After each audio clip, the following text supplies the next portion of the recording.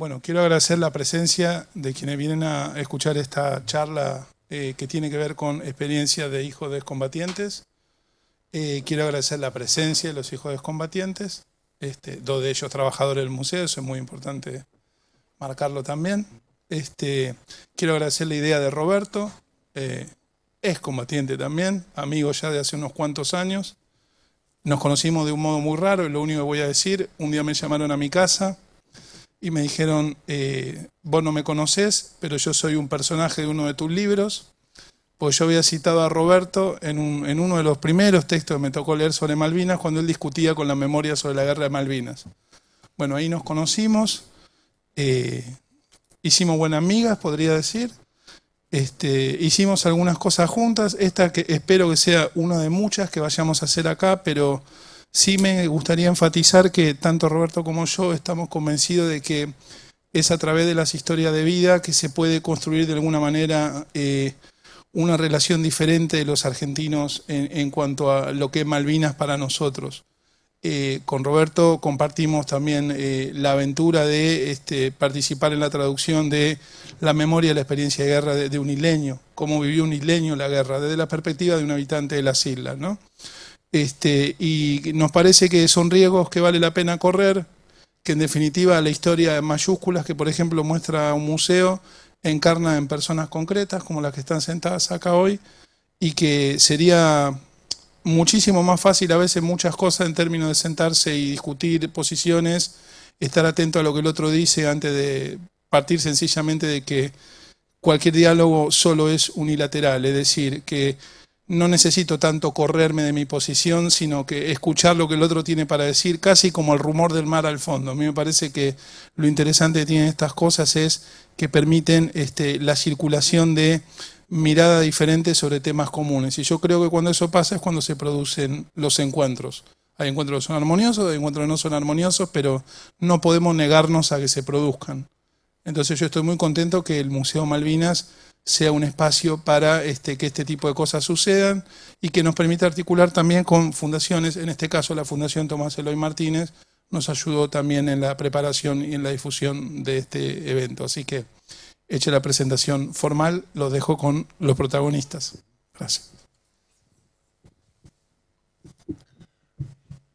¿Se escucha? Eh, muchas gracias, Federico, y, sobre todo muchas gracias a ustedes. Eh, gracias por, aceptar eh, esta invitación a hablar de algo que hace tiempo que me viene dando vueltas y que tiene que ver con eh, que, se, que, tengan voz, que, que cuenten su historia y que además cuenten la forma en que elaboran, viven y piensan eh, eh, esta experiencia colectiva, la guerra de las Malvinas, la, vivimos todos, la vivió el país, algunos la vivimos más, pero la vivieron de forma muy especial las familias y la siguen viviendo. Eh, yo pensaba, mm, como tal vez pensamos todos los que nos pasa algo y vivimos algo impactante que, no, que nos pasa solo a nosotros. Eh, cuando volvimos de la guerra éramos más chicos que lo que ustedes son ahora. Teníamos 18, 19 años, se nos llamó los chicos de la guerra. Eh, y en mi caso, el entender que la guerra no solamente había sido nuestra, sino algo que vivieron los otros, me, llevó prácticamente un, un, cuarto de siglo hasta que en mi caso me, en el, que fue también la época en que volví al tema de Malvinas y me encontré y empecé este, este largo camino de, hablar y discutir con Federico Lorenz, eh, el, preguntarle, el hacer ese trabajo que nos, los que tienen mi, mi oficio, mi profesión de periodistas hacemos todo el tiempo, que es aprender de los otros, preguntarle a los otros sobre su, su experiencia, sobre su vida. Eh, en, mi caso, mm, yo quise contar en parte en, mi libro Los viajes del Penélope qué es lo que me había pasado, junté a los otros seis tripulantes de ese barquito que no los veía desde el 82, viajé a Malvinas, entrevisté a, dos personas que, había conocido como ellos como, como isleños y yo como con, uniforme de la Armada. Y, y, un día quise saber qué había pasado en mi casa cuando yo no estaba. Y entrevisté a mi hermana Carola que está acá. Y Carola me contó que ella estaba angustiada, estaba con miedo, con pesadillas. Ella vivió, tenía 15 años y, ella vivió su guerra. Y quiso que la, ayudara la psicóloga del colegio y no la quiso recibir. Y no la recibió y finalmente en noviembre le dijo que sí. Y ella le dijo, ahora ya no. Y yo en, en, 2006, cuando estaba haciendo los viajes del Penélope, dije, ¿por qué yo tardé tanto tiempo en, preguntarle esto? En tratar de entender cómo había sido su guerra. Eh, nosotros vivimos muchas experiencias, cada uno de los, de los veteranos a su manera, de algunos de rechazo, otros de abandono, otros de, que no nos quieran escuchar, eh, otros que nos pongan una, un sello.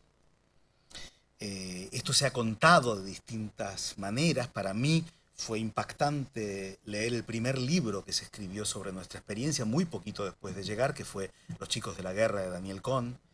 Eh, hay un, libro de una antropóloga, estábamos hablando con, Federico antes de ella, Rosana Guber, que se llama De chicos a veteranos, que, que que no es una, antropóloga que no se va a, la, selva lejana a buscar una, tribu exótica, sino que somos nosotros su objeto de estudio.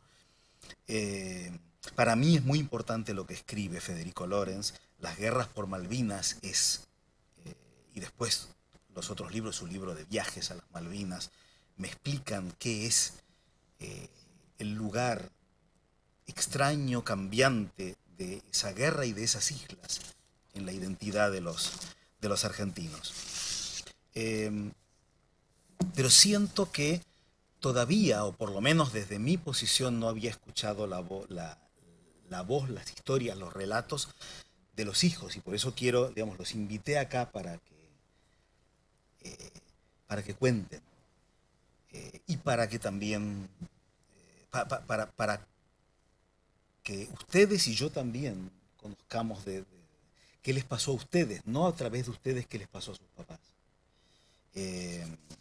Por eso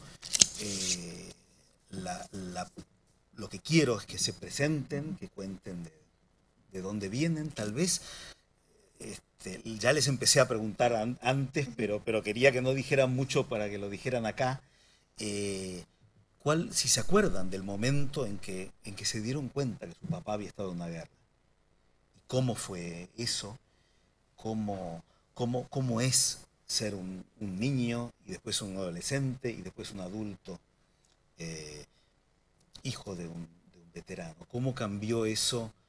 La, si les parece que eso tiene que ver con su historia personal, con sus relaciones y con la historia de su relación con su país. Entonces, yo paro acá porque quiero escucharlos. No sé si vos, tal vez sos el, sos el más veterano de los hijos de veteranos y, querés empezar. ¿Qué tal? Buenas tardes. Sí, quizás uno se, soy el más grande. Mi padre había pedido prórroga, le tocó hacer el servicio militar durante el terrorismo de Estado. Eh, quizás eso fue lo que siempre me, llamó la atención o, me, introdujo a pensar en, esa guerra que es tan difícil de entender porque era una, es una guerra en la, cual defiende una causa que, es de todos los argentinos, pero que, fue llevada a cabo por una dictadura militar y que mientras tanto en el, en el colegio no nos... No, no, por lo menos yo soy de Bolívar, hice me acuerdo de cuando hice la primaria, eh, y no, nos no nos contaban que había sido durante la dictadura militar. Se, aparecían como cosas aisladas, la guerra de Malvinas y la dictadura. Y bueno, mi padre estuvo desde el principio del 81 hasta finales del 82, en, eh, primero en la Colimba y luego incorporado en un, en un buque en, un buque de la Armada. Y quizás, bueno, él no, por estar en la situación especial de estar en la Marina, no, no pasó las cosas que, que, que luego pasaron quienes estuvieron en, propiamente dicho, en las islas. Eh, y las cosas que uno después se fue enterando eh, de más grande ya, de, de, las violaciones a los derechos humanos que hubo en, en, las islas que cometieron los, los jefes militares contra, contra los conscriptos, que fue, que, es, digamos, lo que, lo que hoy por hoy más es, es más difícil de, entender y, el hecho de, por el cual este museo está eh, en un lugar donde era un centro clandestino de detención.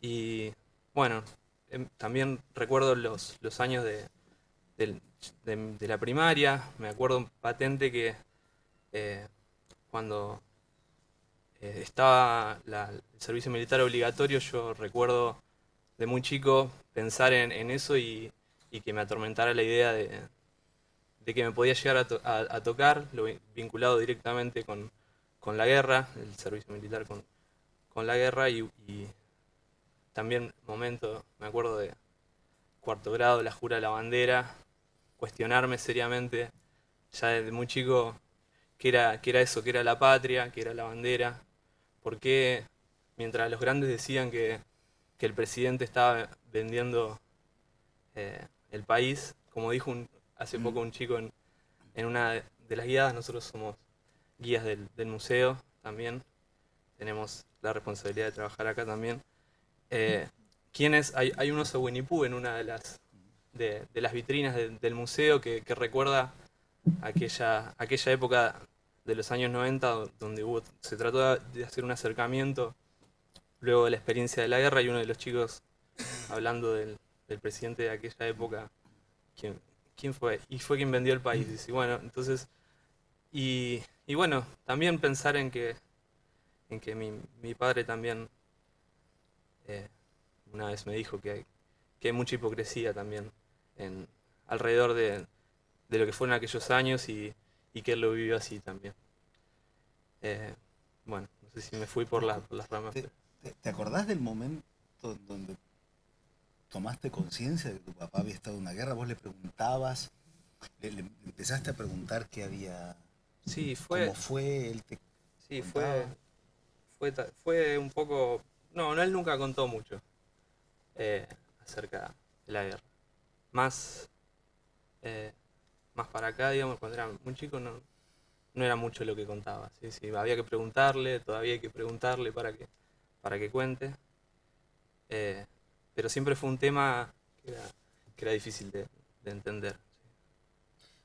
te, parece que no, que no quería este, que, ustedes se, se, angustiaran o, que, o había algo de, no, supongo que, había algo de él también. Yo recuerdo después, muchas veces, hemos hablado del tema, la, discriminación que hubo eh, al momento, en el momento de la guerra para la diferencia que se hacía por ahí, hasta de la propia familia de, para con él, por, por, sincerarse quizás con, con lo que sentía en ese momento, contrastado contra quizás otra parte de la familia que qué suerte que tenés de ir a Malvinas. Yo, me ofrecí como voluntario.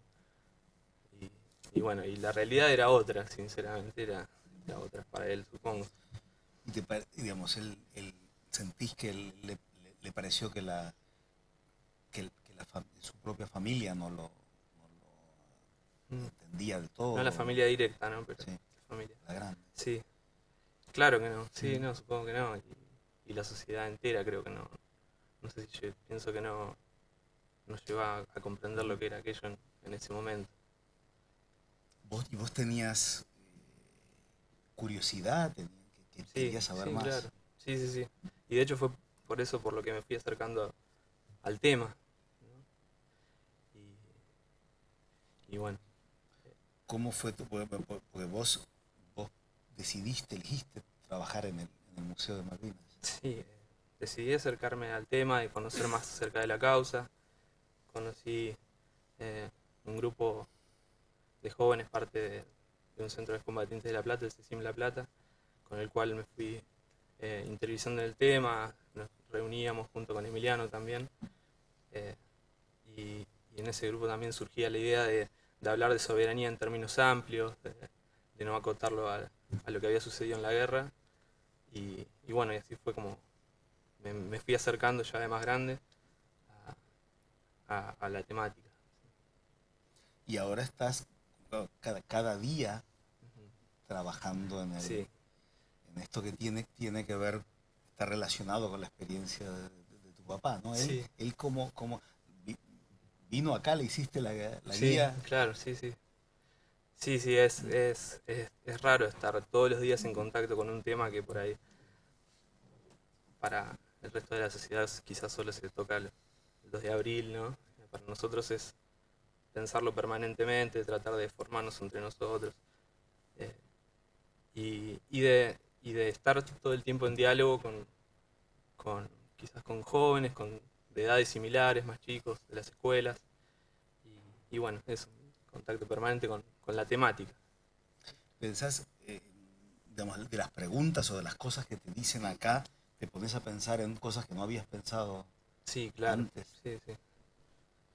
Sí, sí siempre las, las, preguntas hacen pensar y, pensar un poco más. Sí, no, recuerdo ahora nada puntual, pero... Bueno, ahí, va a salir. Por ahí también para presentarnos, no sé si querés contar vos. Bueno, yo tengo una historia bastante particular. Soy de Viedma, nací en el 88, mi papá es de Viedma. Eh, mis papás se separaron cuando yo tenía un año y yo siempre tuve una relación bastante particular con mi papá. Eh, a medida de que, digamos, que yo fui creciendo, eh, él se fue distanciando. Siempre fue como, eh, siempre sentí que, que, había una pared, digamos, que no me permitía. O sea, él estaba, no había conflictos, pero se fue distanciando. Y entonces siempre supe que él había ido a Malvinas, pero era un dato más de la... Nada, mi papá fue a Malvinas, eh, era emocionante cuando iba a la escuela en la primaria a dar la charla el 2 de abril, porque era mi papá y estaba enfrente de todo el curso, pero no tenía mucha más conciencia que eso. Yo creo que entendí que mi, que mi papá había ido a una guerra como a los 20 años, ya estudiando acá en La Plata, tratando de pensar tal vez... Eh, en esa relación que nunca se terminaba de dar. Y me acuerdo que estaba en, un aniversario de La Plata o en el Día del Estudiante que estaba tocando León Gieco y tocó Para la Vida. Y hay una parte que habla de la mirada de los hijos como un lugar como de calma. Y no sé por qué me, me hizo un clic en la cabeza, me acuerdo que me la a llorar en el medio de la plaza. Y a partir de ahí, por primera vez, me pregunté cuánto de, esa experiencia que había tenido mi papá en la guerra podía influir en, esa historia que yo tenía con él. Nunca me lo había preguntado, porque nunca había hablado con él, o sea, yo lo veía bastante seguido de chica, pero, después de los 15 años estuvimos cuatro años, eh, vivíamos los dos en la misma ciudad, estuvimos cuatro años sin vernos. Lo volví a ver a los 19, después yo me vine a estudiar y siempre fue como intermitente. Y creo que la primera charla que tuve de adulta con mi papá, yo tenía 19 años, o sea, las otras eran como de chica. Y, y después me puse a pensar, cuando se me ocurrió esta pregunta, me puse a pensar y me di cuenta que mi papá hablaba todo el tiempo de Malvinas sin hablar de Malvinas, porque todo el tiempo estaba presente.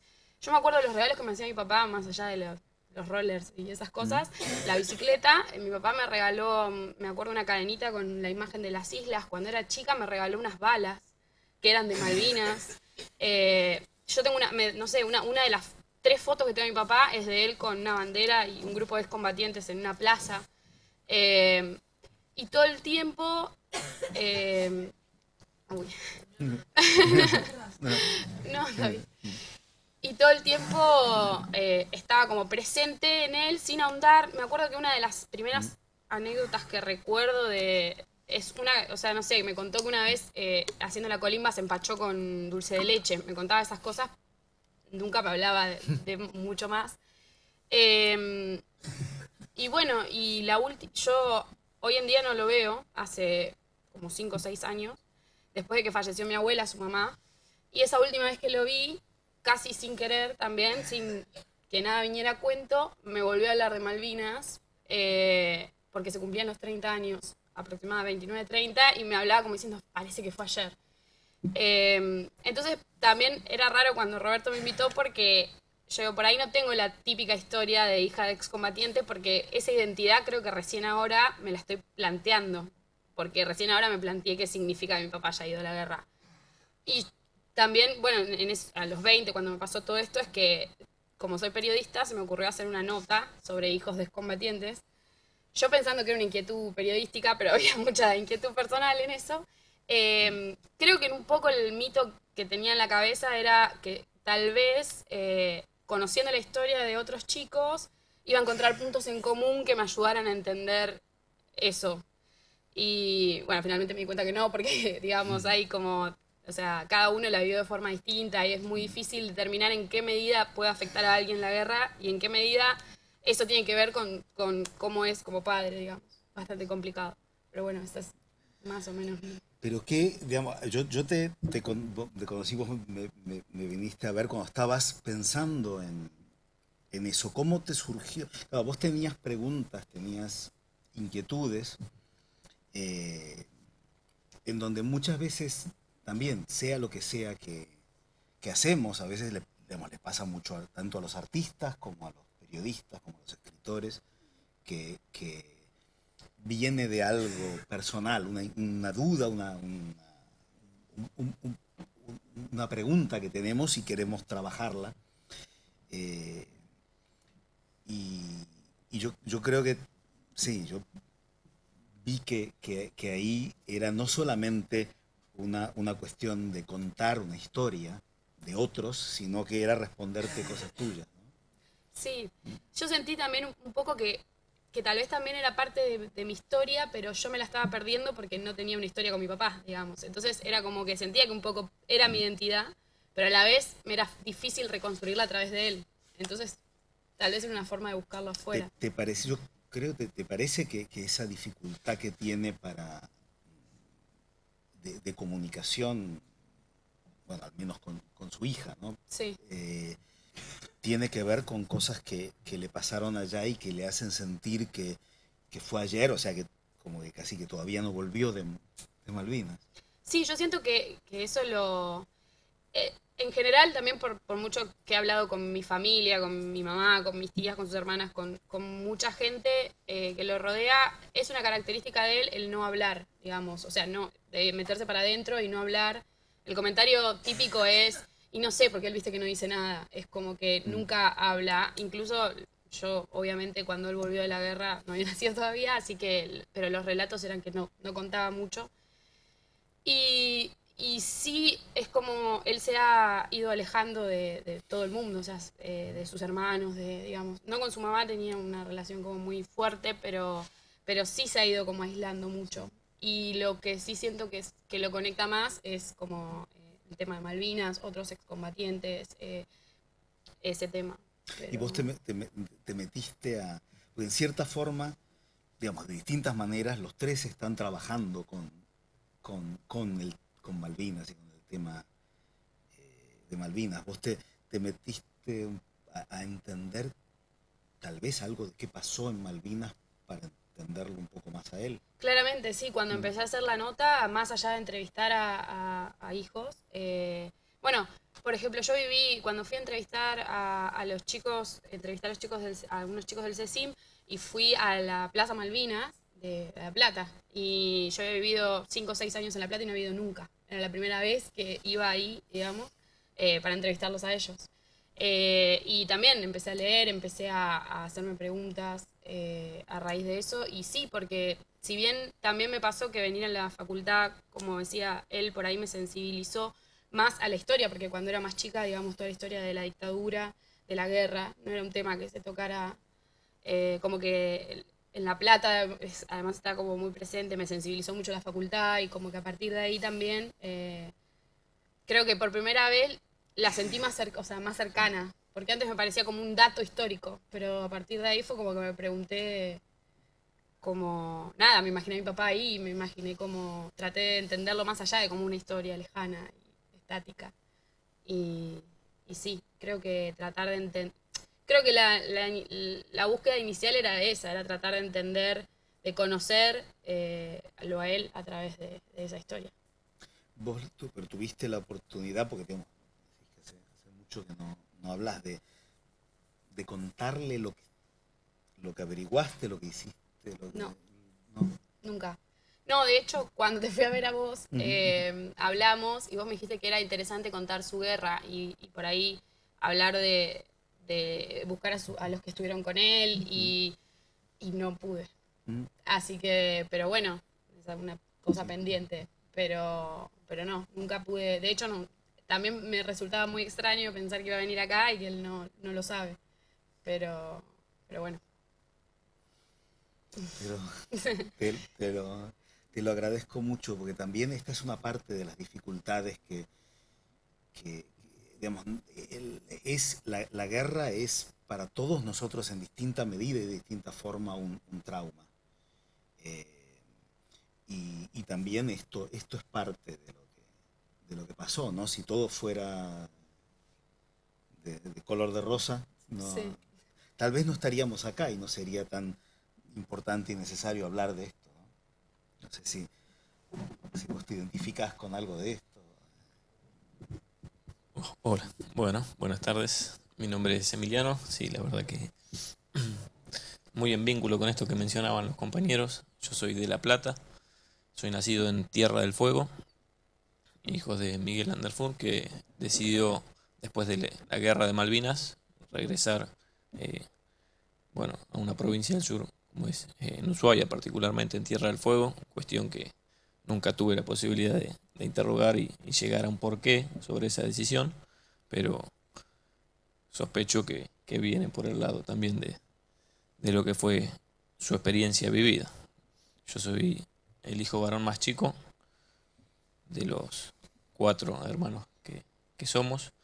Hoy en día tres vivimos acá en La, en la Plata, el mayor regresó para Tierra del Fuego y también eh, tuve un acercamiento en una primera instancia a, este museo a través de, espacios y organismos como son los, eh, los, grupos, los grupos que conformamos con hijos de combatientes, en este caso en particular el de La Plata, a través también de, del Centro de Combatientes CECIM.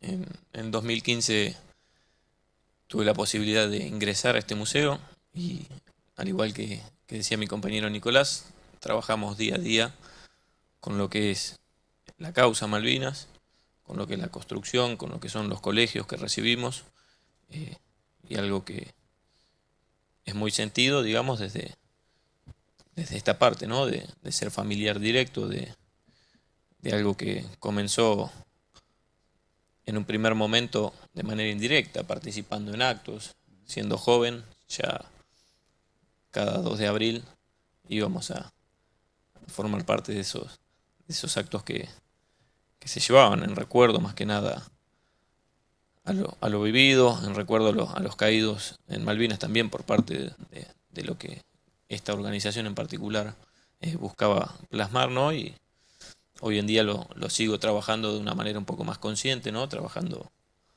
la causa Malvinas desde otra mirada también. ¿Vos te, acordás de la cómo, conociste esto en tu infancia? ¿Fue la, primera vez que te diste cuenta que tu, papá había estado en una guerra? Sinceramente no recuerdo puntualmente, ¿no? Pero sí tengo el recuerdo de tener dos compañeros más de colegio que, tuvieron un, padre que le tocó ir a Malvinas también y ya desde, desde esa época, primeros años, eh, de secundaria más que nada, ya, ya trabajábamos, eh, digamos, lo que era hablar eh, entre compañeros, ¿no? ¿Qué, sería para uno desde esa perspectiva de joven de decir, mi papá fue una guerra, ¿no? Que le, que le tocó vivir, pero no, no, no puedo recordar puntualmente, digamos, desde, que, desde qué momento.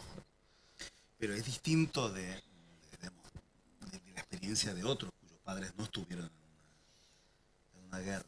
Tal vez es una es, acercarse a, no, sé si, si tuvieron, vos mencionabas un poco de que no, de, de, este tema de que no sabes realmente por qué él volvió allá, no sé si es tanto el, tema de tal vez de la dificultad de acercarte a, hablar con él, como, en el caso de Verónica. Seguramente porque yo lo considero también como de pocas palabras. En ese sentido, él mismo, en algunas charlas que hemos tenido, no eh, me, ha, me, ha, indicado, digamos, me ha, me ha mencionado no hacer mucho esfuerzo por recordar lo que, lo que vivió. Entonces, desde ahí también mi postura de no, no interrogar mucho sobre el tema, pero sí siempre queda esa, esa duda que la, que la trabajamos, como decían, desde acá, ¿no? Al ver o al, al recibir algunas preguntas y repensar cómo, cómo fueron eh, para él durante ese tiempo. Porque están, sí, para, es, es, impact, es, es fuerte que esto que tal vez es la experiencia más, más dramática, más fuerte de él, es algo que está plasmado en el lugar en donde vos trabajas todos los días. Sí, sí es así. Y, y, hay un momento, digamos, por lo menos para mí, yo lo hablé con algunos de mis compañeros, ustedes ya pasaron la edad, vos, hace no mucho, este, vos tampoco, este, en donde tenían la edad que teníamos nosotros cuando, cuando fuimos a la guerra. ¿no? Este, no sé cómo lo, si, si tuvieron en ese momento decir, yo tengo, digamos, ahora, si existiera la colimba, me, estaría como, como era tu, tu pesadilla de los, de los siete años, ahora tendría que ponerme el uniforme, me rapan y me toca la colimba. Y, tal, y esta es la edad a la que mi, en la que mi viejo se, se fue a la guerra. Desde luego que sí, pasó por, por mi mente en algún momento y al igual, bueno, que mencionaba hoy Nicolás, en el caso de mi papá también le, le tocó haber pedido prórroga, siendo clase 61, eh, le tocó ir a Malvinas, ¿no? Un año después, esas cosas de, de la vida y ahí es de donde uno se, se repregunta con 21 años cómo, cómo habrá sido vivir eh, esta situación que, que, como bien decía Nicolás, fue en un contexto duro, digamos, y como lo trabajamos día a día, fue una experiencia sí. que seguramente deja marcada esa, entonces vos, esa sociedad. Vos, vos, sabés poco de exactamente cómo, qué, qué pasó en todos los días de la guerra con él. Sí, en cuanto a, a algunos recuerdos. No tengo detalles, digamos. Nunca hemos llegado a hablar de, de detalles de los días. De... Él, él, estaba en ejército.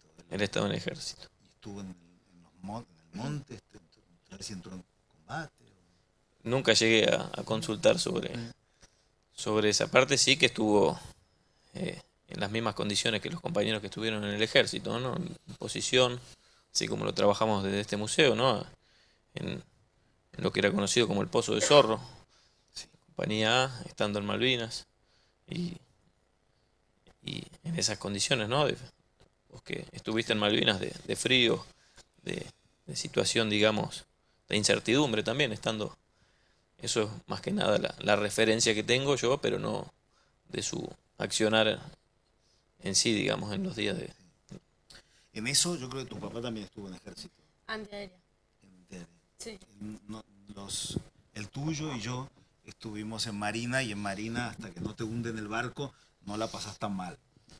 Porque, ah, perdón, no la, digamos, pero, pero digamos, para, para nosotros lo que pasaron los de, eh, digamos, en, en, yo viví el, eh, el miedo, tal vez el, el, terror de que, de que, en cualquier momento te maten, de que vengan estar en esa, esas guardias a la, a la noche que no ves nada que, te ves como unos ojitos y un compañero mío empezó a disparar a lo loco y era una foca.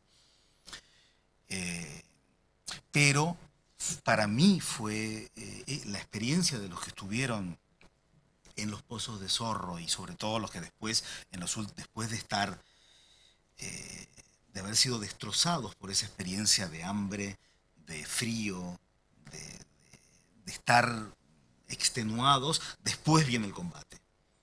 Eh, yo los conocí después de la, de la rendición, cuando bajaron como, como fantasmas, como, como, esqueletos, con, con, con caras demacradas de muertos.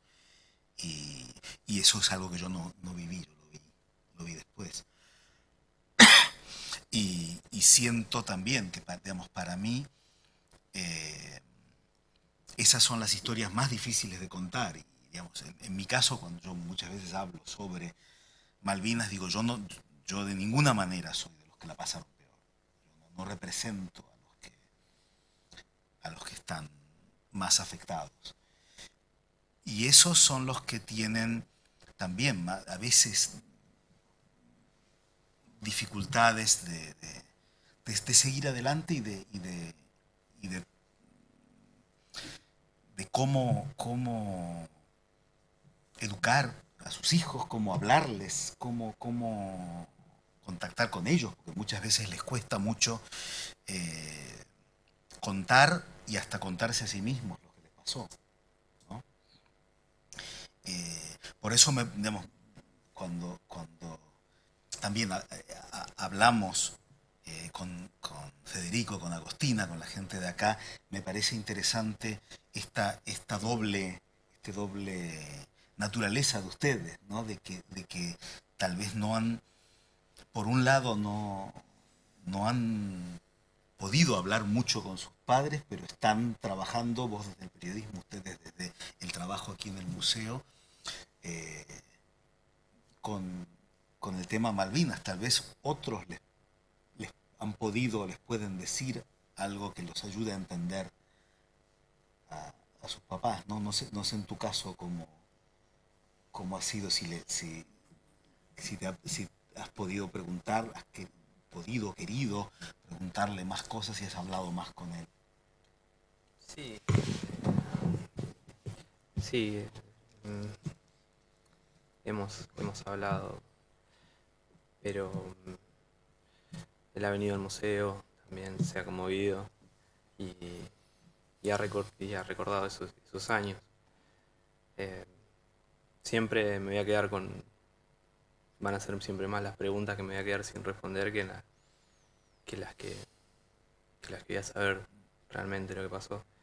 Pero, pero también eh, ha sido indagar en, en otras experiencias y, y, bueno, rescato lo que, lo que vos decías de, también de, de, saber qué fue lo, lo, lo, que realmente pasó en Malvinas en, en su totalidad, más allá de la experiencia, quizás yo la, la, interpreto como excepcional o de lo que le pasó a mi, a mi, padre, lo que realmente pasó de manera sistemática en Malvinas, eh, que fue parte de, de, de la represión, que, que, las mismas prácticas que había en el continente las hubo durante las islas, eh, durante la guerra, en las islas y, bueno, y, eso creo que es realmente lo, importante y cómo, la, y cómo la guerra fue también de alguna manera funcional al, a los intereses de Gran Bretaña. Eh, quizás eh,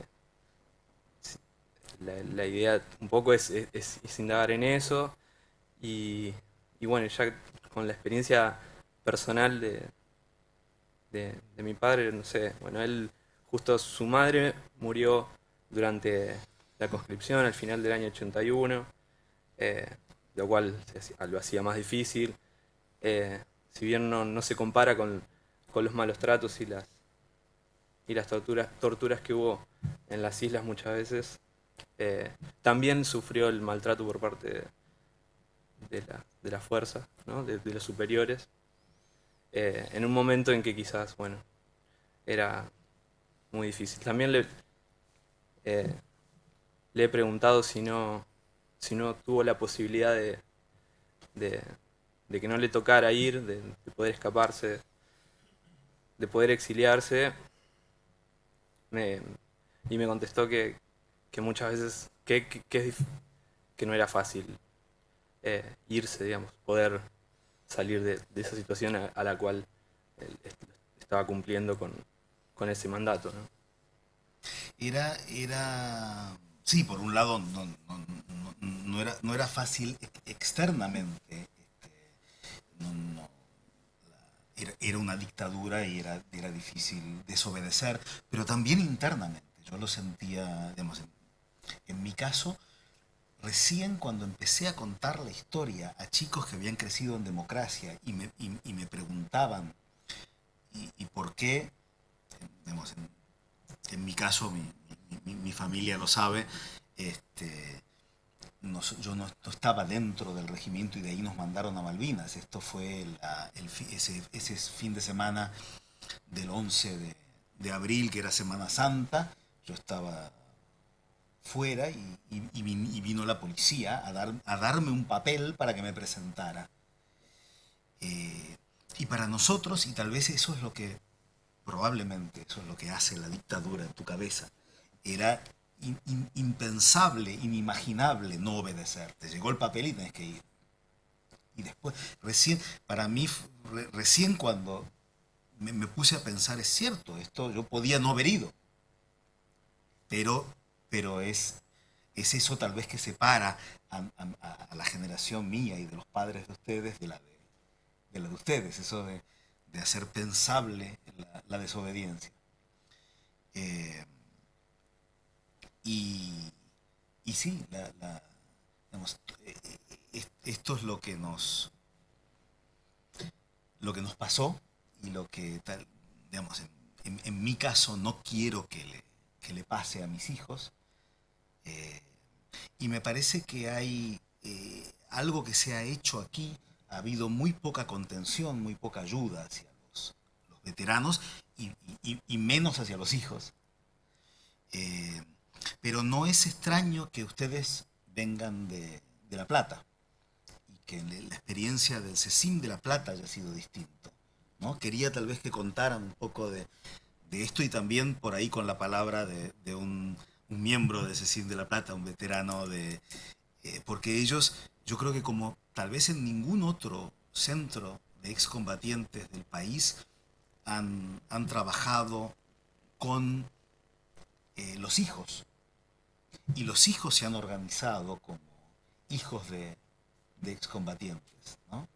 Eh, ustedes están, han hecho cosas con, con el CECIM y con los hijos, tal vez cuenten algo de, de lo que hagan y después tal vez quería darle la, la palabra al compañero de, de allí, porque me parece que, que no, es, no es raro que, que ustedes estén pensando y trabajando en este, en este tema, a diferencia de los de la capital o los de otras provincias, que no, que no tienen una organización que, lo, que está actuando y pensando sobre este tema hace años.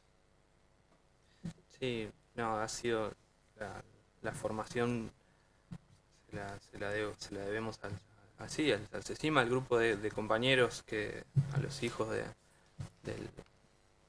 de los miembros del, Centro de Combatientes CECIM La Plata. Eh, hace años ya que nos venimos, va, yo me incorporé más o menos hace 4 o 5 años, nos reunimos, hemos eh, hecho, lo- los compañeros por supuesto siguen haciendo, eh, sobre todo en, la formación acerca de la causa, como decía Emiliano, eh, y, de, pensar, eh, bueno, qué, fue lo que separar también de la, de la experiencia propiamente dicha de la guerra, bueno, en términos de soberanía, cómo, cómo se puede hoy abor- abordar la temática, qué es lo que se puede hacer, cómo mirar a- hacia el futuro, como decía Rosana, como dice Rosana Huber, a qué Argentina queremos que, esas, esas Islas Malvinas se, incorporen. Y, bueno, esa posibilidad de pensar todas estas cosas, sí, claro, ha, sido posible gracias a los compañeros del, del, y a los hijos con los cuales hemos podido, junto con Emiliano también, eh, formarnos y per- permanentemente seguir, seguir en, ese, en ese camino. Ustedes de- de- desde hace tiempo entonces se han, poco se, han descubierto, se han encontrado con, con otros que, que- que- vivieron o que viven tal vez algo parecido. Y en realidad no hace tan poco tiempo, si pensamos desde cuándo es que estamos juntos, es mismo desde que empezamos a participar de, los actos que los mismos- el mismo organismo, este CECIM de La Plata, llevaba adelante. Y están dando ahí, ¿verdad? Sí. Y de manera indirecta, como les decía, ya desde estos primeros encuentros uno empieza a conocerse, empieza a trabajar y ya más de grandes, y como vos decís, es que empezamos a, plantear alguna especie de organización para trabajar eh, a la par ¿no? de, de, esta, de estas, estos proyectos, si se quiere. En el caso de, del CECIM es un organismo al cual eh, mi papá, desde que tengo memoria, que, que asiste y, siempre trabajando con, con temas puntuales como son también dar a conocer esto que decía Nicolás, eh, trabajar lo que es la soberanía, dar otra, otra imagen de, más allá de lo que fue la, la experiencia vivida o contar qué, qué, participación tuvo cada uno, de ir un poco más a, a, dar a conocer qué hablamos, por ejemplo, las, las, charlas que mismo se daban para dar a conocer eh, qué hay de Malvinas, de qué hablamos cuando hablamos de Malvinas, pensándolo tanto como, como pasado como, como futuro también, como presente hoy en día, en la actualidad y bueno, es más que nada desde, esos primeros momentos en que uno se acerca a, esto, a estas organizaciones. Sí. Vos, bueno, también sos de, de, La Plata, que es un lugar que, que, que vive tal vez de forma especial esta, esta historia. Sí, igualmente yo, eh, como te decía, estuve cuatro o cinco años en La Plata sin conocer directamente ese espacio, eh, pero sí me sorprendió cuando llegué a hablar con los chicos, eso, muchos me contaban que se conocen porque como sus papás se juntaban, se juntaron ahí creo que desde apenas volvieron de la guerra, se juntaban entre ellos y ellos nacieron ahí y se juntaban a comer asados ahí, mm. se conocen de chicos, muchos. Mm. Y, y, claramente lo que me impresionaba mucho es que era como una historia totalmente distinta a la mía, en el sentido de que ellos habían respirado por ahí un poco esto, digo, tenían muy en claro, digamos, eh, tenían una mirada política sobre Malvinas, tenían como muy pensado y muy elaborado, eh, y eso me sorprendió muchísimo. Eh, que había como unos, unos hijos pensando como en el futuro, digamos, de, de eso. Eh, pero la verdad es que yo no, era mi primero, o sea, de hecho en Viedma tampoco nunca había ido a ningún acto eh, con mi papá, ¿no? Pero sí en la escuela, esas cosas, y no conocía a otros hijos eh, de excombatientes, así que no tenía mucho esa, esa historia. Sí. Sí. Quería ahora en, en esta este, última parte también escu escucharlos a ustedes. Aquí hay varios eh, excombatientes. Eh, creo que varios de ustedes tienen hijos eh, y, y, también lo, lo, pueden pensar en esto, sentirlo tal vez como, como yo con, con mi hijo del, desde el otro lado. ¿no? Eh, entonces, me gustaría que también pa pasar el dónde está este este, este micrófono sí. Sí.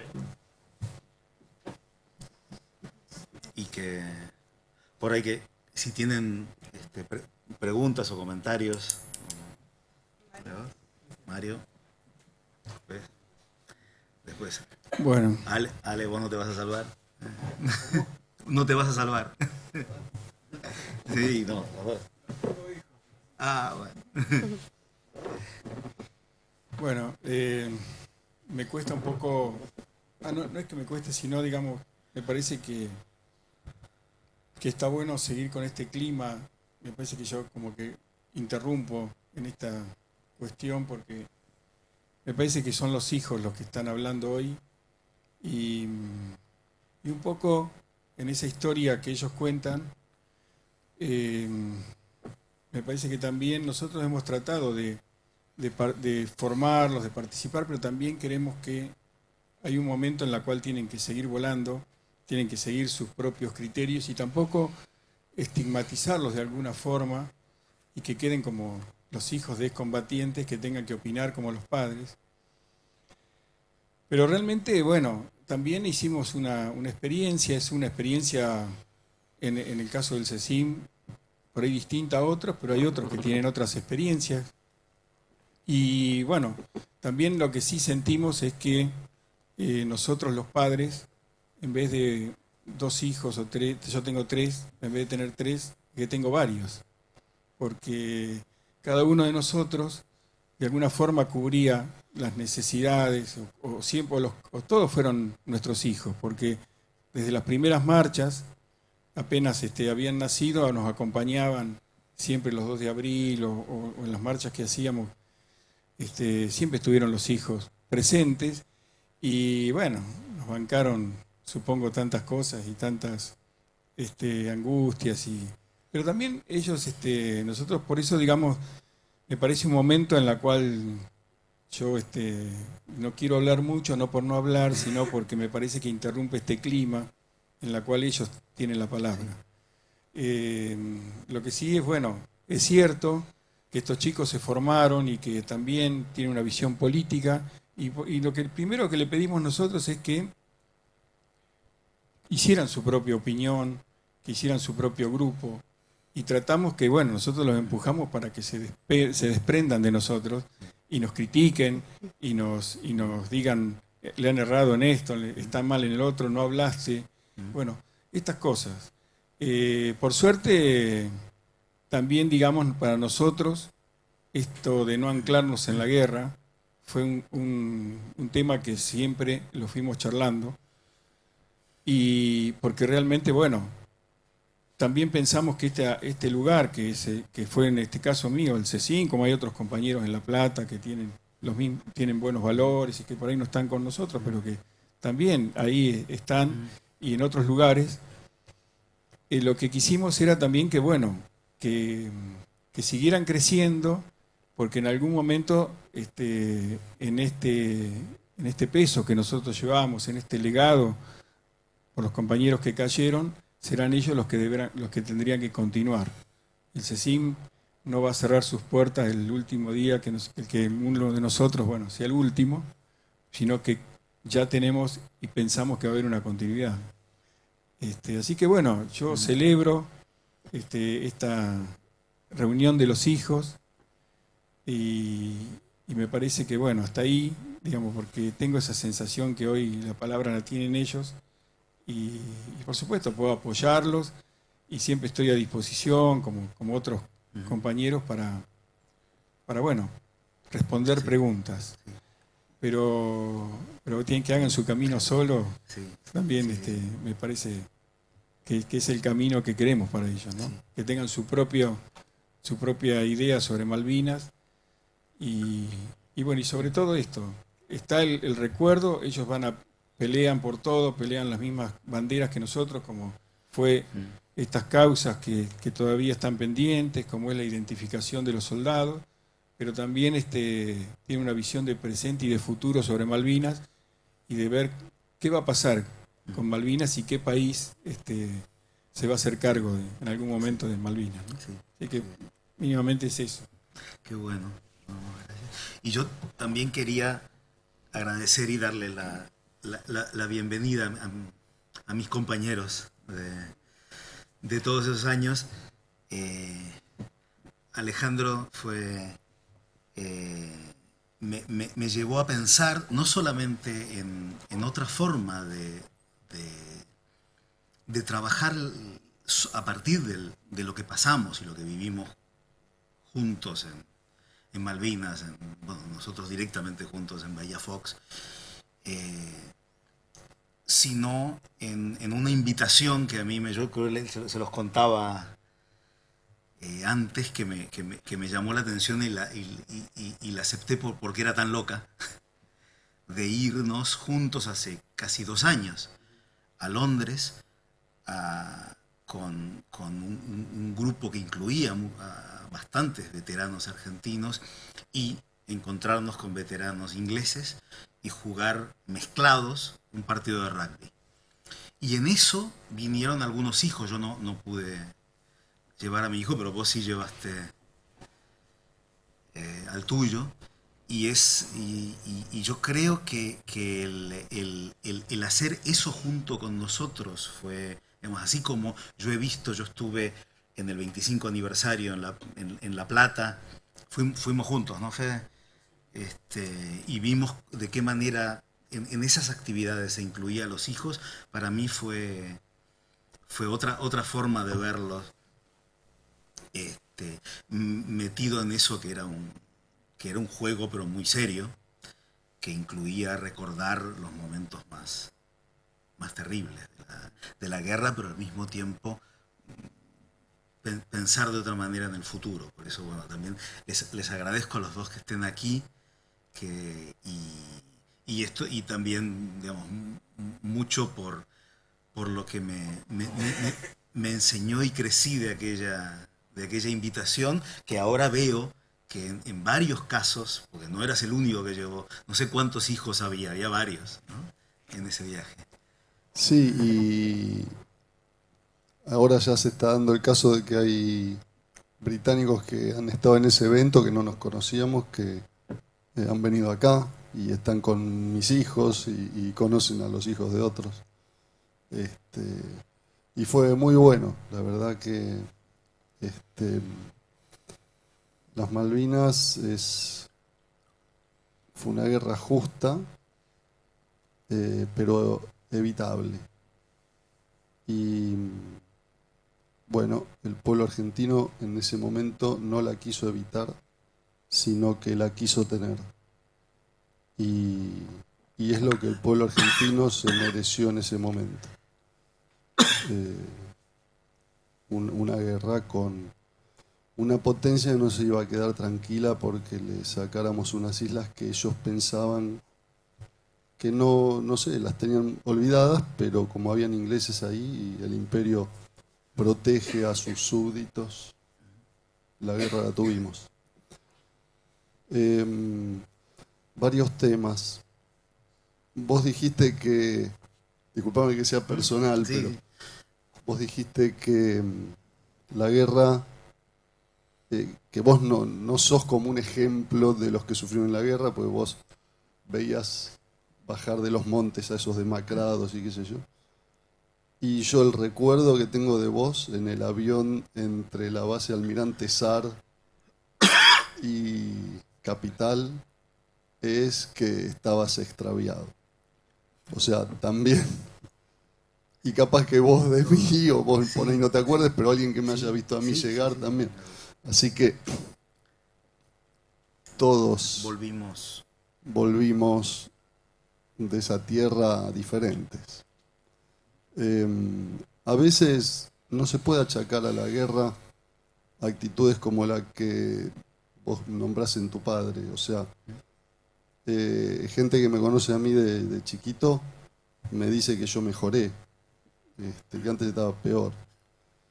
Así que uno es como que lleva en su psicología cosas que, que después la guerra tuerce un poco, pero capaz que la, característica de personal ya viene de antes y, bueno.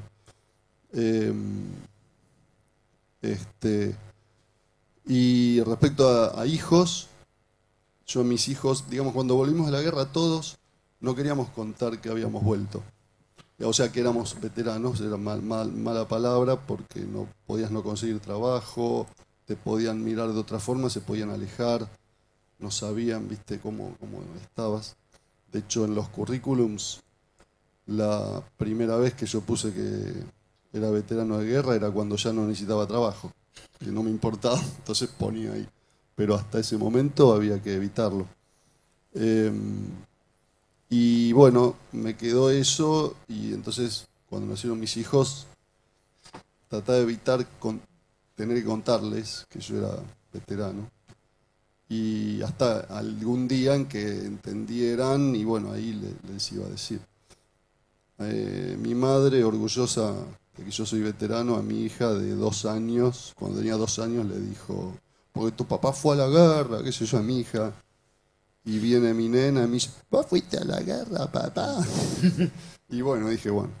Y desde ese momento, mi hija, después mi hijo, eh, y yo siempre les conté, porque la verdad a mí para mí la guerra fue una experiencia sensacional. A pesar de todo, eh, es donde se ve lo peor y lo mejor de las personas. Este, y yo vi de las dos cosas. Y, es un golpe muy fuerte, no, es, no se puede describir. Em, y, y bueno, vos encontrás tipos que han estado en la guerra que te cuentan todo, con detalles, y, por ahí uno que es, combat- es veterano es como que se anima más a preguntarle a otro veterano, ¿y dónde estuviste? ¿Qué sé yo? ¿Y, vos estuviste en tal batalla? Ah, y por ahí entraron y, te tocó estar, ¿y cuántos mataste? O, ¿cómo fue? ¿Viste? Y, bueno, eh, como que no tenés miedo en preguntar y sabes que el otro te va a responder. Este, y entonces te encontrás con gente que vos puedes hablar abiertamente y te describe cómo eh, con una bayoneta le descuartizó un inglés y, dice contento, y, y otros que vos ves que hay un bloqueo. Este, así que hay de todo. Em, y bueno, ahora esas eran las cosas que quería decir. No sé si se me ocurre otra cosa. Gracias. Ah, mi hija tiene 13 años, me- yo me casé viejo, por ahí por la guerra me quedé. Eh, bueno, de hecho, en- cuando entré al trabajo me hicieron, a los 24 años me hicieron un test psicológico. Yo solamente a la psicóloga le dije que había ido a la guerra porque lo iba a descubrir. Y, no me dieron nunca el resultado de ese test. Sí que me tomaban. Y a los 35 yo tomo una persona que yo y pido el test psicológico y siempre lo pedía para testear a ver si lo que yo veía de la persona era, o sea, yo generalmente no tenía dudas, entonces a la persona la tomaba y el test psicológico ni, me interesaba. Pero de esta tuve dudas en tomarla, pedí el test y salió lo que yo pensaba y como salió tan bien dije, ¿y a mí qué me habían dicho cuando yo, como ya era gerente, lo pedí, digo, ¿me das el test psicológico? Y agarra y dice, sí, bueno, que por haber ido a la guerra, no sé qué, tiene, tiene como ímpetu, quiere solucionar cosas, o sea, como que tengo mucha fuerza, ¿viste? Para ir adelante, qué sé yo. Eh, pero que tiene, puede sufrir, sufre inestabilidad emocional. Y que recomendaban en ese momento que me avisaran para que tenga una eh, ayuda psicológica, para que busque ayuda psicológica porque lo podía afectar en su vida, pero que laboralmente era buenísimo. Yo veo eso y digo, ¿por qué no me avisaron? y, y bueno, y ahí fui a una psicóloga y le dije, mira, tengo inestabilidad emocional, yo quería casarme con alguien, no, no, no podía casarme con nadie, era muy exitoso con las mujeres, pero no con, no con una sola. y tuve dos meses con la psicóloga y conocí a mi señora. En, ese, en esos dos meses conozco a mi señora y me casé y hace 18 años que estoy con ella, cosa que ni mis viejas ni mis amigos podían creer que... Así que bueno, me casé viejo por esto y ahora soy estable emocionalmente o, o no sé, o trato de serlo, me sale bien. Y tengo una nena de 13 y otro de 9 y voy a dar charlas a, la- a los colegios y todo eso. Sorry por los No. Este, yo creo que a, a mí y, a- y tal vez a algunos de los papás podemos podés recomendarnos este, la psicóloga esa.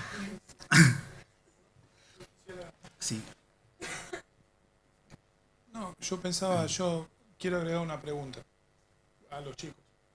Hasta donde sé, eh, pues bueno, nosotros trabajamos en un museo que todos los museos tienen una dualidad que es peligrosa. Se supone que son para preservar cosas, pero la verdad es que también, eh, como es un lugar de encuentro entre las generaciones, eh, siempre está el riesgo de que lo que nosotros queremos preservar no es aquello que a los más jóvenes les vaya a interesar o que lo vayan a recordar de la misma manera. Ese es un filo peligroso, sobre todo cuando estamos hablando de experiencias límite, que es como alguien las elige contar, por ejemplo, o no contar. Yo lo viví de esta manera o lo viví de tal otra.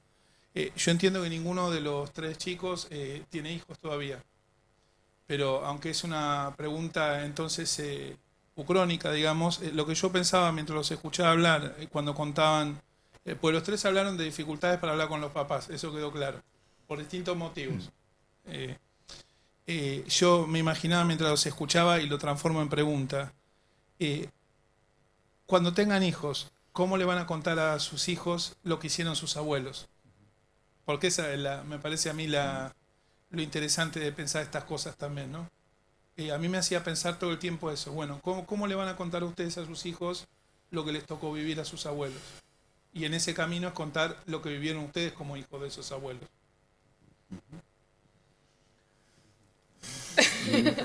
Yo creo que es- es- No, tal, tal- tal- sí, tal vez, tal vez algunos ni, ni siquiera, no, no es que no han tenido hijos, sino que no han empezado a pensar en tener hijos. Sí. Ah, sí.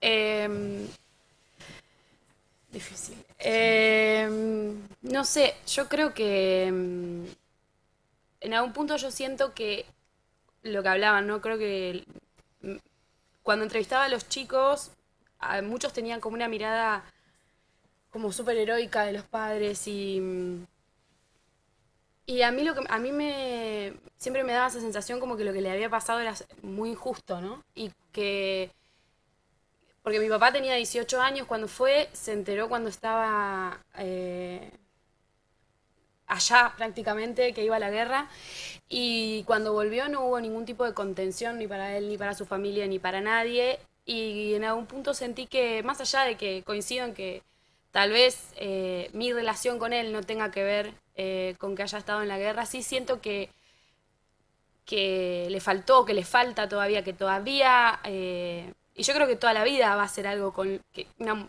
no sé si una mochila, pero que lleve, pero, pero que creo que podría llevarla de otra manera. Y, nunca, nunca tuvo, digamos, esa, esa herramienta. Y para mí todo eso tiene que ver con un contexto histórico y político muy importante para nuestra sociedad. Eh, entonces me parece que, que lo importante para transmitir tiene que ver con eso, con, con ese contexto y con, y con no sentir lo que yo sentía antes, que tenía que ver con un dato histórico frío, algo que pasó en la historia y que leo en un libro, sino que tiene que ver con historias de, de personas eh, que tienen hijos, que tienen una familia y que les pasan un montón de cosas y que, y que me parece que eso es como lo importante, como que, que querría transmitir eso, historias de vida.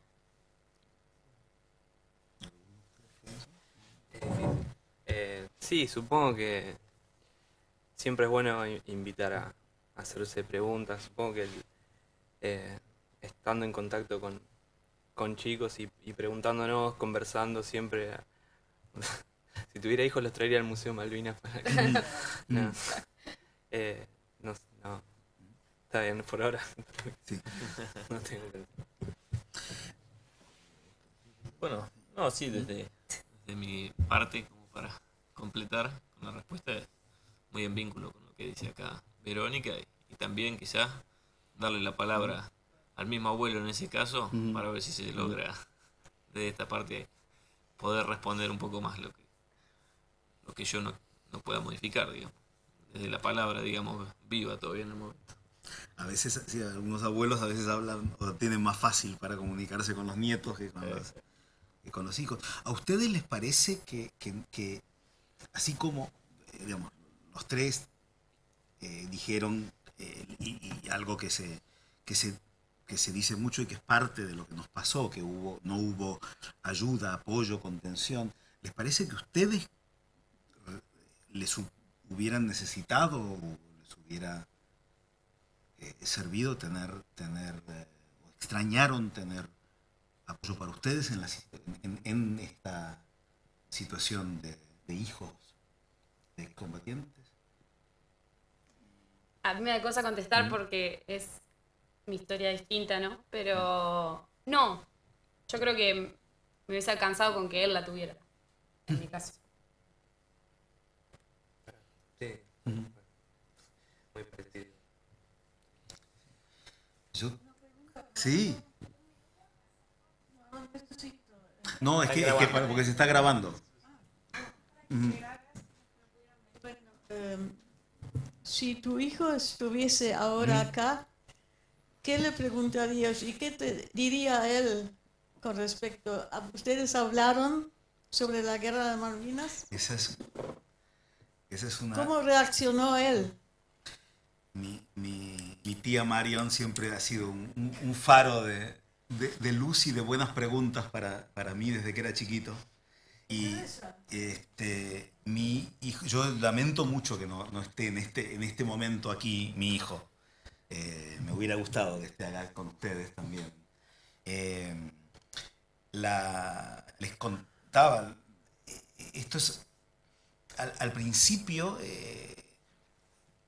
él, yo estaba escri- ya escribía sobre Malvinas y, él me, escuchó contar historias y yo también estaba con, hablándolo con otros. Entonces un día, creo que tenía seis o siete años, me, me, me dijo, ah, vos estuviste en la guerra. Estaba en la, en la época de videojuegos y de películas de, de, de, este, de- de- de superhéroes que mataban a miles a, a cañonazos. Sí, y, me, y me dice, ¿cuántos mataste vos? Y a mí me aterró la pregunta. Sin, sin digamos, no, no, no me puse en el lugar de, de ese niño y le dije, por, suerte ninguno. Y se decepcionó mucho.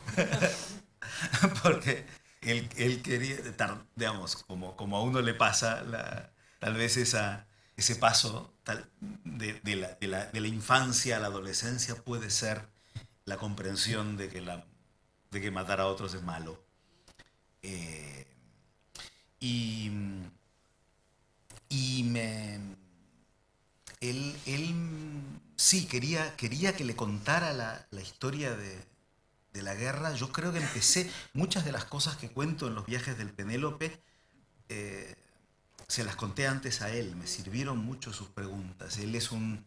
Es, ahora también le gusta que le cuenten y leer y, ver series y películas. eh, es difícil sacarlo de Juego de Tronos. Pero, pero en, en esa época eh, a mí me... Tal vez no sabe, y si en algún momento ve esta grabación, se enterará de lo que a mí me sirvió, que él me pedía que le contara mi historia completa, y no con los atajos con los que contamos muchas veces las cosas más que nos duelen. Eh, y entonces yo, yo se lo conté como, como, si fuera una, como si fuera una novela, como si fuera una película. Eh, a él le, resultaba todo esto muy, muy lejano, muy exótico, ¿no? Eh, pero, me, digamos, no quiero, no, quiero adelantarme o aventurarme a, pensar qué, diría él acá, porque yo creo que una de las, una de las cosas que me, que me fascinan de mi hijo es que eh, dice cosas que me sorprenden. y entonces, eh, eh, pero, pero, pero sé que él, él siguió mucho, sobre todo mi, digamos, yo viajé a las Malvinas, la única vez que fui fue en el 2006, antes de la, de la época donde, donde desde allá podía estar chateando con él. Entonces, hablé dos veces con él por teléfono, salió una fortuna. Eh, y para él fue, porque digamos, eso fue lo que él vivió ya de, de adolescente, mi viaje de vuelta. Uno de ustedes, ¿no? Tu papá volvió, no, al tuyo. Sí. Eh, No, creo que no. eh, bueno, eh, también lo, lo- hablamos. Tu, viaje de vuelta a las Malvinas fue, no- no- no- nos, nos impacta. eh, y lo que nos pasó, yo- mi, mi- mi- mi hijo ten- sí, ten- tenía miedo que tuviera una, una regresión, que volviera a sentir el, el- el miedo, la angustia que sentí allá, pero, pero yo creo que, que vivió, mm, porque, porque ya estaba consciente, muy de cerca, eh, qué me pasaba a mí en mi viaje de vuelta. No, no, no, no sé si, si vos también seguiste. ¿Cuándo, ¿Cuándo volvió tu hijo? En más de una oportunidad regresó y también me cuenta esto de la- las sensaciones que se encuentra al regresar, ¿no? Porque así como yo lo presentaba como de pocas palabras o algo cerrado a hablar sobre ese tema, también está la parte de, comentarme que al llegar, por ejemplo, al cementerio de Darwin, ablandar toda esa parte y no, no poder aguantar esa, esa, experiencia, eso, eso vivido, ¿no? También, bueno, a modo de, de, contar que, fue una de, las de las- las cosas que hizo al regresar, por ejemplo, fue en el mismo cementerio de Darwin eh, tocar el, el himno argentino en el- eh, para, para, bueno, justamente para los, los caídos que allí se encuentran y también con el- en vínculo con esto que hoy hablaba Mario, se está trabajando hoy por la identificación, ¿no? Cuestión que sigue trabajando, pero en ese sentido él sí, desde su regreso sí tiene otra, otra, otra comunicación, ¿no? De, otra experiencia, pues, regresar con otra edad, regresar con, con, con compañeros que, ha- que ha- que le ha tocado estar allá, de joven, digamos, y, reflexionar sobre, sobre lo vivido. Ahí es donde lo encuentro un poco más accesible de hablar. Vos, vos sos músico, él, él también Sí. toca un instrumento. Sí, sí, de hecho yo aprendí de acordeón también. Acordeón. Sí, a veces yo le- le- les decía antes que tal vez algunas preguntas difíciles podían, los dos son músicos, podían contestarlas tocando. Yo también quería, digamos, la, la persona más, más joven que está acá, el único que todavía no tiene la edad en donde hubiera, que teníamos nosotros cuando fuimos a la guerra, es mi sobrino.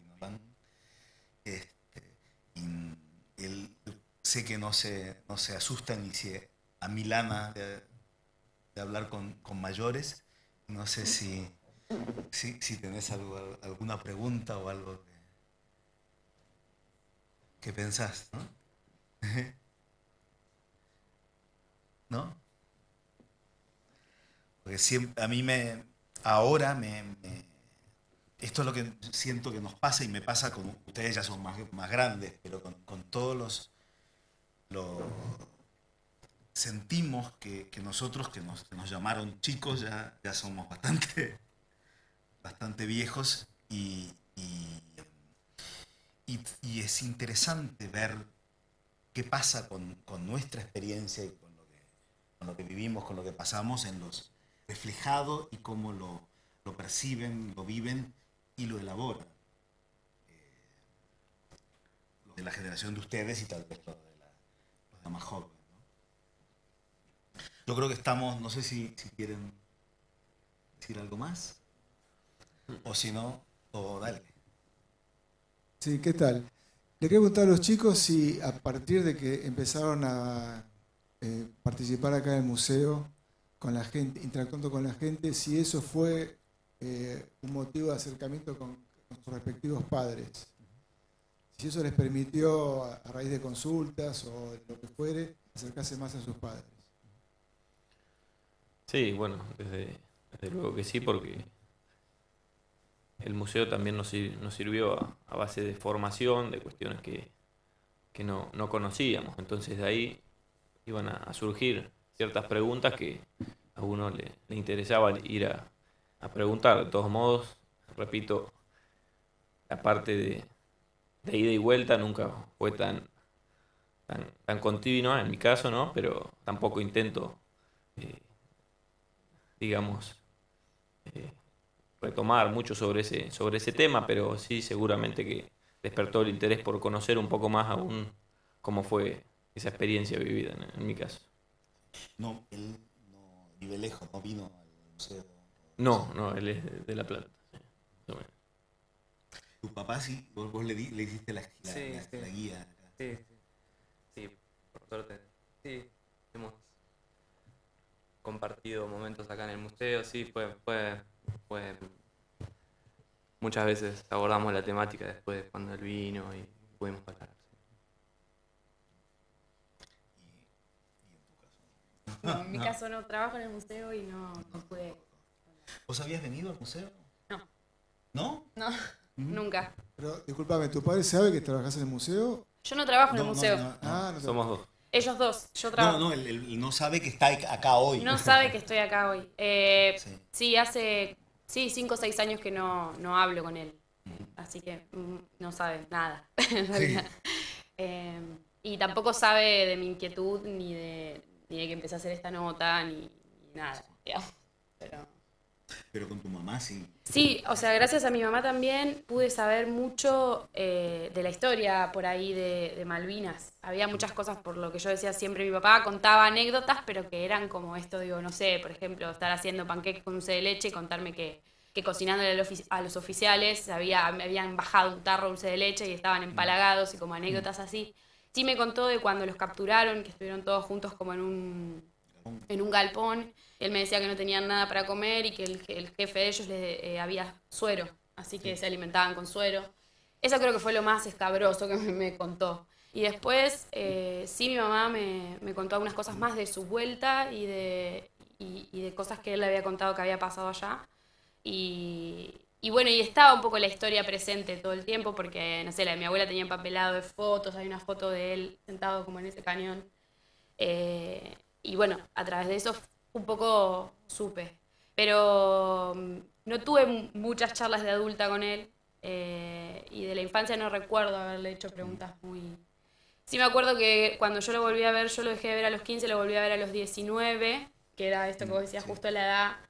Y sí me acuerdo de tener una charla yo con mi adolescencia y mis dramas, de que me había peleado con mi mamá y que como que era todo terrible. Y, recuerdo que él me dijo, bueno, eh, como que a veces te tocan cosas en la vida que, te tocan y que hay que ir para adelante. Y me dio el ejemplo de, de, lo que le había pasado a él con Malvinas y me acuerdo que me quedó eso, pero...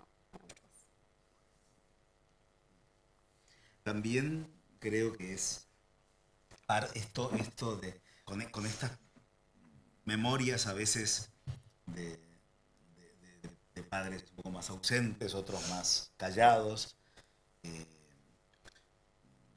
seguimos pensando y haciendo nuestro este tema, ¿no? Tal vez que tiene que ver con que de distinta forma, lo, trabajaste como periodista, aunque no trabajas acá en el, museo, eh, y, yo creo que son, no son los únicos que, se han acercado Malvinas, a la guerra, a la experiencia, como, como también intentando acercarse a, a, unos padres que, y, ahí también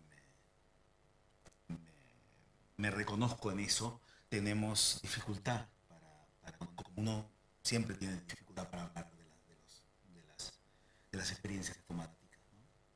Por eso me parecía importante un poco para, para cerrar esto que, como, decía Federico Lorenz, es, eh, lo primero de un camino y de, vías de diálogo eh, para compartir ese tipo de experiencias y escucharlos a ustedes eh, que no han sido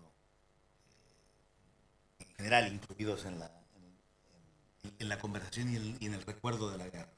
Ustedes nacieron todos después de la guerra, pero la, pero la guerra está dentro de ustedes también.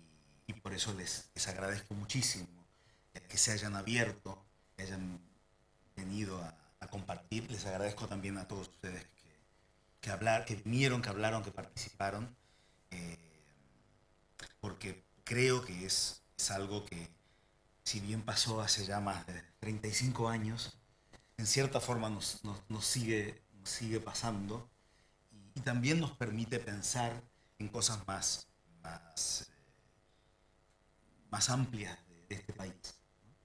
Entonces, bueno, muchas gracias. Gracias a ustedes. Gracias especialmente.